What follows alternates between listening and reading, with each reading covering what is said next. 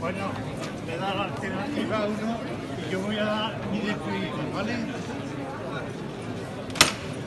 De Ramón, la histórica la cosa Que tengáis mucha suerte. El cielo ya lo tenéis ganado.